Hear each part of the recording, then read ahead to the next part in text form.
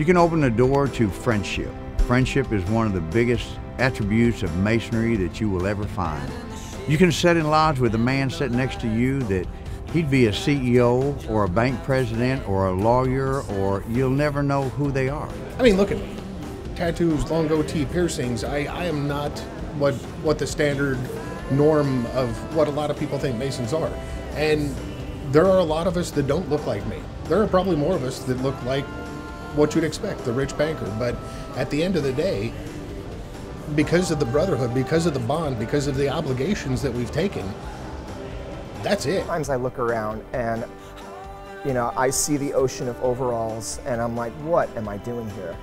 But the thing is, when you step outside and you talk to these guys and you have that square and compass on, the, the differences go away. You can extend your hand of friendship and you become friends. And you attain a, a bond, a friendship, if you would, for the rest of your life with that man that's just unending. I mean, that's a friend for life.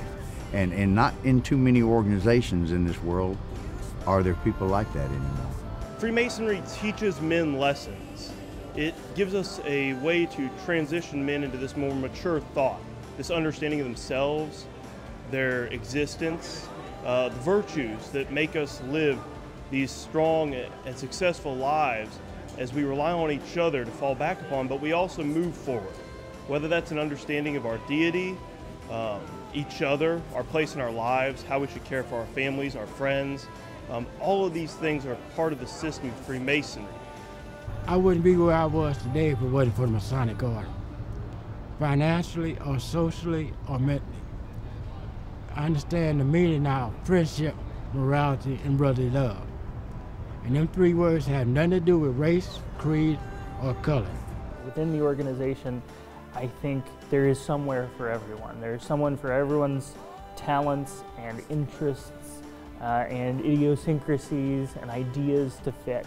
And I think that this fraternity does a great job of letting everybody find that and uh, bringing, bringing groups of guys of, of a like mind together.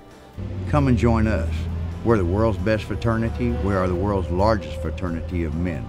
To be one. To be one. To be one. To be one. To be one, ask one. Whoa.